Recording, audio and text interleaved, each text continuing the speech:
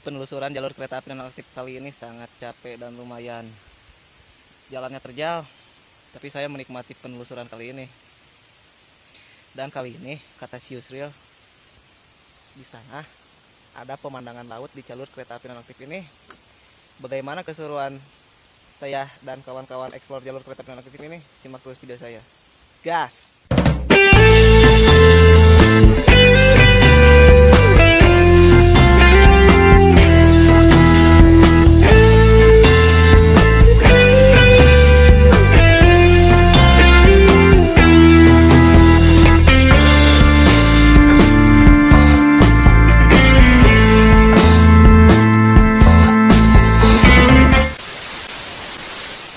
Lanjut explore di jalur kereta api non aktif ini. Kata si master suhu Yusril di sini katanya ada jembatan setelah terowongan ini. Saya juga sebenarnya nggak tahu daerah sini. Tapi Yusril bisa tahu. Ini tebing jadi jalur ini tuh sebelum masuk ke terowongan Wilhelmina siang ini dan kali ini saya sangat menikmati penelusuran kali ini katanya di sini dulu ada bekas jembatan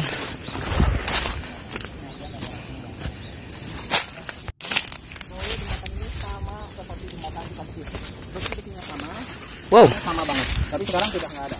Iya, Yus. Ini ke sana, tuh ke ujung sana, saya zoom ujungnya. Tuh lihat, tuh di ujung sana. Ini sudah habis.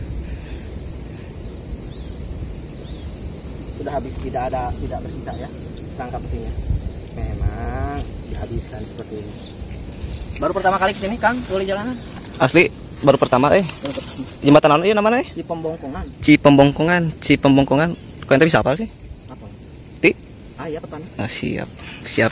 Maksudnya teh kok orang tak apa gitu? Saya di Nawi Timur ya kok maksudnya teh aneh eh ayah rangkana uh ini nanti uh. partai besar-besaran ya mah ngambil oge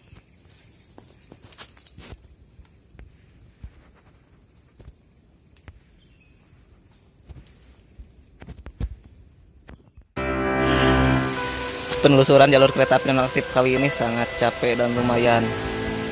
Jalannya terjal tapi saya menikmati penelusuran kali ini. Dan kali ini kata si Yusril di sana ada pemandangan laut di jalur kereta api non aktif ini. Bagaimana keseruan saya dan kawan-kawan eksplor jalur kereta api non aktif ini? Simak terus video saya.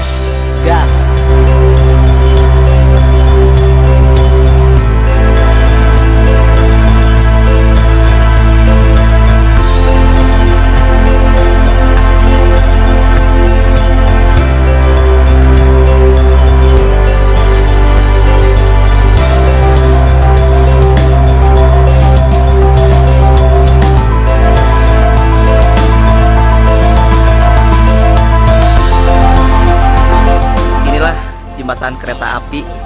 di jalur kereta api non aktif yang berdekatan dengan pantai selatan di jalur ini.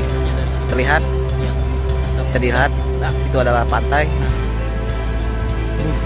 Ah, uh. Itu pantai. Kita lihat pilar-pilar jembatannya saja. Ya Kang, kecewa nggak Kang sih? Eh?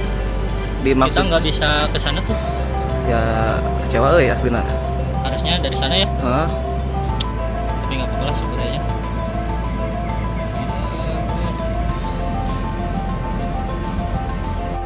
Explore jalur kereta api non aktif bersama Krisna Maulana Nugraha dan Yusril Rizky Pratama.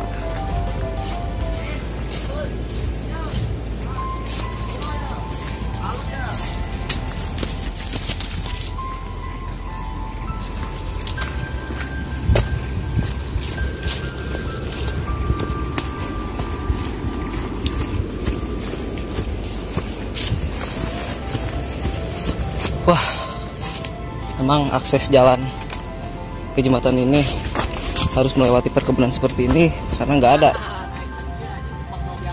Hah? Iya, orang anak jauh-jauh dari Garut datang ke sini hanya untuk mengabadikan atau mengeksplor jalur kereta api non aktif ini sebelum direaktivasi. Mudah-mudahan.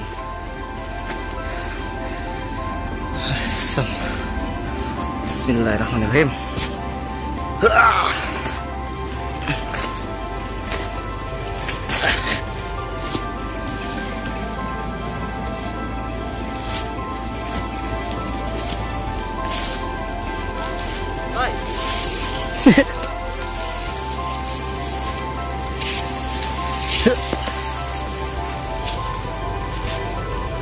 Bisa tak?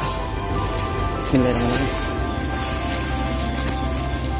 Ini memang bukan untuk jalan setapak, tapi dilewati sama si Yusril jadi mendadak jadi jalan setapak.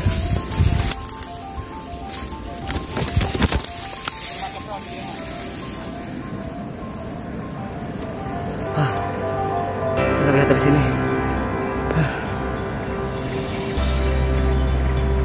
pilar jembatannya terlihat ada 1, 2, 3, 4, 5 dan di belakang jembatan ini tersuguhkan pemandangan laut selatan dari jalur kereta api dan aktif banjir di Julang ini.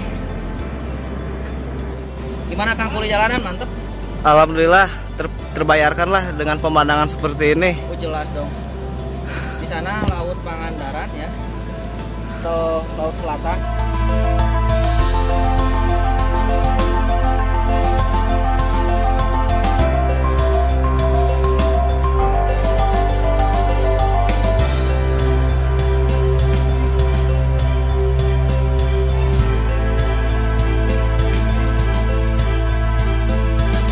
Sekarang kita lanjut eksplor lagi ke tempat yang lain di jalur kereta api non aktif ini.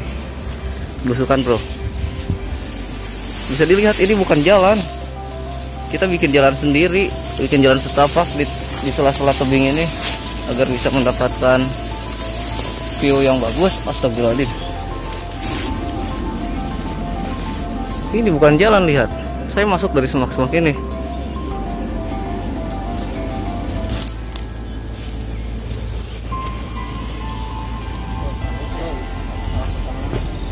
Eh manuk nih.